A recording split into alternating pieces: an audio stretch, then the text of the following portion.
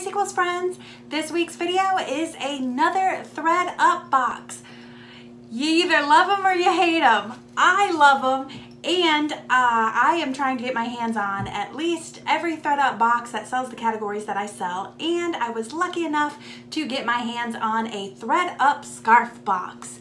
So I am not doing an unboxing because I couldn't resist. I already opened it up and peeked at everything but I am kind of pleased with how much I think I might be able to move these for on both Poshmark and eBay.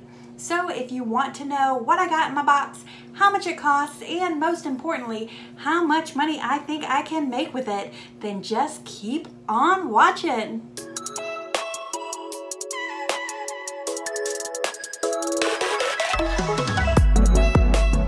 Hi Sequels friends. As I said in the intro, this week's box is another thredUP box. Um, I have been sourcing a lot through thredUP as I'm sure you're aware. If um, It is a great way to source, especially if you are not keen on being out and about during the pandemic. Also, I love the mystery aspect of never knowing what you're going to get. And if you have been trying to shop thredUP during the pandemic, you will know that they are out of stock on things pretty regularly. I think the men's box and the women's clothing box is the only thing I've seen in stock consistently. The scarves are in stock fairly consistently, um, and good luck getting your hands on anything else, although I am checking every day and trying was. So if you are new here, my name is Heather. I am a part-time reseller on the Poshmark app as well as eBay and I use this YouTube channel to document my journey. So if you're interested in how to sell um, used clothing online, um, how to sell on Poshmark and eBay, all sorts of reseller tips and tricks, as well as some fun thrifty flips thrown in, then you will want to go ahead, hit that subscribe button, and ring my bell so you are notified every time I upload a video. And I am now uploading videos twice a week on Tuesdays and Fridays. So ring that bell and you will be notified. Of course, as always, if you found this video to be helpful for you, then go ahead and give me a thumbs up. Your likes, comments, and all of that jazz let me know what kind of content to create for you in the future. So let's get into the facts first. So this is the thredUP scarf box. I did receive 24 scarves and the box cost me $21.99. Now that is because the box is $16 and I had to also pay a $5.99 shipping um, and that was to ship it to me here in North Carolina. So my box cost $21.99 and my I ended up with 22 items that I am going to sell because I am donating one and I am keeping one for myself. So that works out to a dollar per scarf. So the amount we want to make sure that we make is at least $22 to cover the cost of the box but I am pleasantly surprised. I think I might be able to pull in, and I'm gonna go ahead and give you the numbers up front here. I think I'm gonna be able to pull in maybe 200 plus dollars with this box. Most now, all of these scarves I'm gonna show you are going to be in the nine to $14 range. I hope to make at least $9 on them. There are a few that I'm gonna go ahead and put in as I do at my markdown price. So I'll price it normal, but go ahead and put it in a markdown category and put it as a sale just to see if that will help move it because it doesn't look like they're, some of them don't look like they're going to generate a huge dollar amount. Um, but I kind of just want to test the waters and see. So let me show you what I got. Huge stack of scarves here that were all neatly put together and folded and then my lovely Pity Mad Max came in, sniffed them, and knocked them all on the floor. So now it's just a big humongous pile to show you. So um, there are a few of them that I'm pricing higher than the 10 to $14 range and when I get to those, um, which this is one, I will denote that and this is one of them. This is a super huge, just so you can kind of see, scarf, no brand, no name. It's a really pretty open weave just very, very nice. Um, very, feels like very good quality, but again, there is no, um, no branding or anything on it. Because this feels like such good quality, I actually listed it at 24 and I'm hoping to get at least $14 for this one. This is very, very pretty. It's in this golden yellow that you've been seeing all over the place. It is a um, kind of a really big infinity scarf because it is sewn together here. I'll just show you beautiful pattern on it. And again, I do not believe that this one had any tags. This is just H&M. It is a really pretty sheer and it has um, a bright white with little polka dots on it. this is more of a true scarf. Um, again, no tags on this that same price range. This is very, very soft hand. Um, it almost has like that, uh, I don't know if you could see it on there, but like that mohair quality. So it makes me think that this one might actually be a natural, but I don't know for sure. So. I gotta love this. Really tell it like it is. Brand, fashion scarf, fashion scarf. Either way, make fun of the brand or not, it is a beautiful teal colored scarf. It has almost like this python print and lots of fun, fun fringe. Super lightweight. Here's more of a traditional uh, style of scarf you would think of as a blanket scarf, almost like a pashmina, but it is actually a rayon, if I remember correctly, yes. And it is from World Market. So it is a true traditional scarf. As you can see, there are, as with most of these scarves, some overall snags and such on it. I always disclose that, as I said before, and it has the fun fringe detail. Okay, I absolutely love this one. This is Ann Taylor. It is just Ann Taylor Factory. Um, it has this fun, like, raw edge fringy detail, but it has this beautiful navy with um, the geometric, and again, that is a nice big wrap. This one is going to be in the higher price point range. I'm going to do a 14 to 24 on this. Again, it does not have any tags.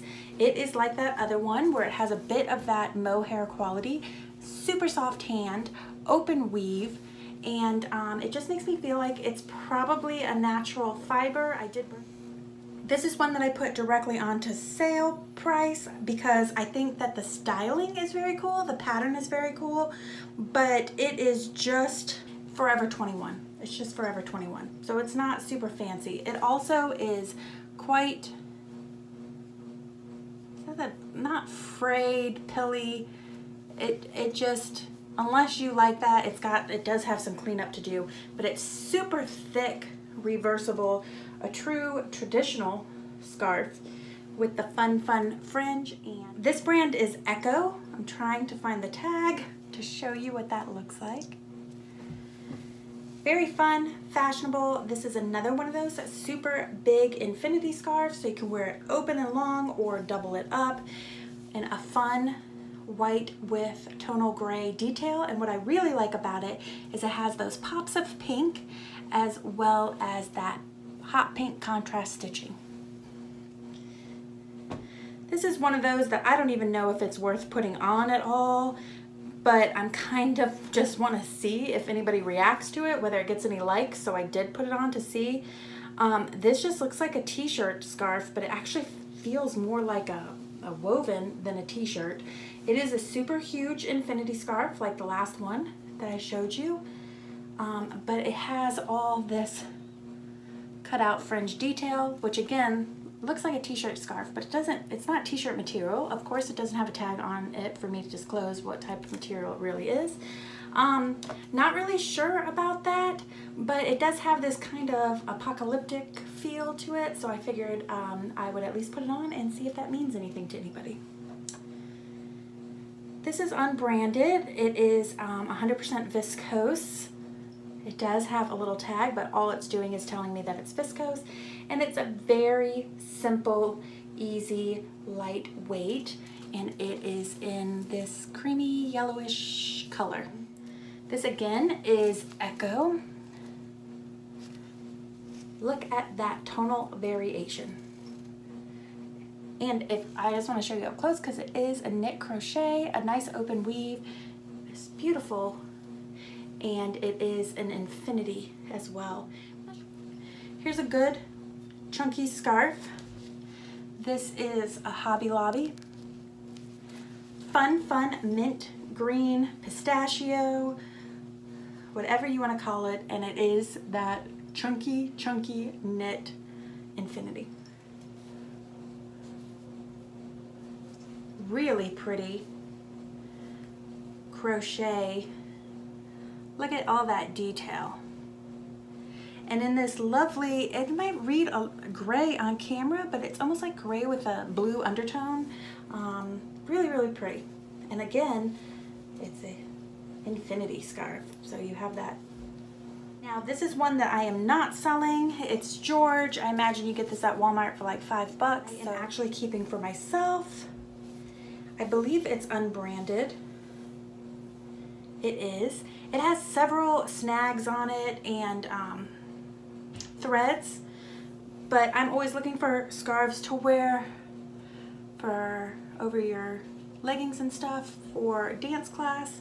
And I love this print beautiful color with on that black ground or you could see the reverse side which is pretty cool too. So I kept that one for myself. This is I believe H&M if I remember correctly. Let's see if we can find a tag. Here it is yes divided by H&M It's a chunky knit and it's kind of like um a knot like a bubble knit. I don't know what that's called, but it has uh, much more texture to it than the normal knits do. Again, that one is an infinity as well. This was an awesome find. This is the one that is worth the most amount of money, but I'm not sure what the demand is for it. Um, there have been a few that have sold on eBay and they've sold in the $50, $60 range. This is um, Canada with our maple leaf. And it's by Hudson Bay. And, and I think there's a tag too. And it was a special Olympics edition.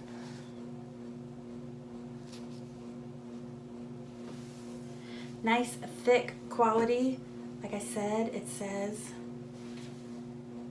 And that one um, is going for uh, the 50 to 60 range. I started it at 59, but I hope to get at least 30 bucks for it. Here's a more traditional scarf in like a creamy white. This one, the tag is cut out of, so I don't know the brand, but it is a rayon. There is some all over um, snags, as I've said with all the other ones, and so that was disclosed. And there is one small stain that wouldn't come out, and that was disclosed. But another lightweight, pretty coloration. Here's a more traditional scarf. It doesn't have a brand, but to show you the label, it's a reversible uh, green and yellow paisley with this beigey gray fringe. And again, it's reversible. So if you want more of a yellow effect, and if you want more of the green effect, and these last three are some of my favorites. These are just really beautiful and I believe that all of these I priced at a little bit higher price point, even it may have started it at 24 or 19. But again, as long as I get that $10 for it, I would be very, very happy. This is unbranded, but I'll still show you the tag. This is gorgeous. Very regal, paisley, that red and yellow. You have all this fringe. And what I really like is, I hope, oh yeah, you can see that in there. All that metallic thread running through. Really feels like quality, quality. It's very thick. It has this cool, I don't know, I'm calling it like a wave pattern. Very geometric. Um, fun, fringy tassel details.